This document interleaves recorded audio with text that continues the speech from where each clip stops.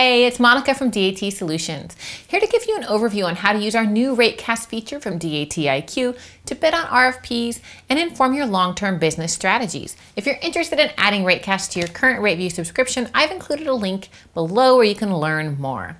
Over the next few minutes, I'll cover the basics on how to use RateCast's 52-week forecast so that you can bid on shippers' RFPs with confidence and win new business. So let's get started. Access RateCast from the home page of your Power subscription by clicking on the Rates tab on the top left.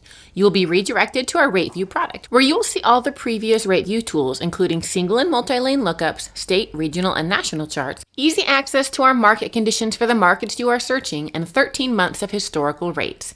In addition to this historical data, you will find the new RateCast tab, where you are able to see up to 52 weeks of rates being forecast. When looking at a forecast, you will see the forecast line with an upper and lower shaded forecast interval. Actual market rates are 70% likely to fall within this range. The more volatile the lane, the wider the range. These rates take into account external impacts like seasonal patterns, days of the week, business cycle patterns, and more. They factor new information in real time, and that information is updated daily. Although it can't predict things like natural disasters, RateCast will react to disasters in real time. Let's look a little more closely at how RateCast can help make your business more profitable.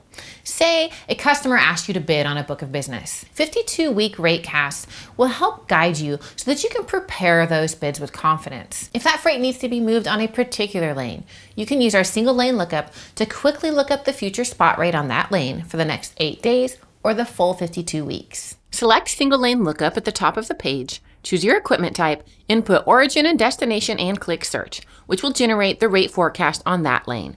Something you'll want to keep in mind if you are comparing forecast rates to historical rates, there is no fuel surcharge in forecast rates. But historical rates do include fuel surcharge and will only report on lanes with enough data. So you will have to click on the subtract the fuel surcharge on the right and check the lane being reported on to compare apples to apples. If you're looking at moving freight across multiple lanes and you want the rate forecast on all of them so you can do RFPs, you can request a custom report with that information from our data analytics team.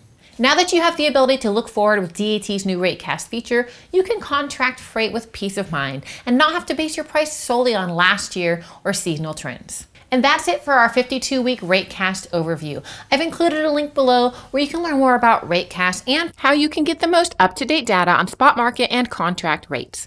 Easily find answers to frequently asked questions and additional training by clicking the question mark at the top of the load board to open the DAT Help Center. If this video helped, give us a thumbs up. Also, find links to products and other social media channels in the description below.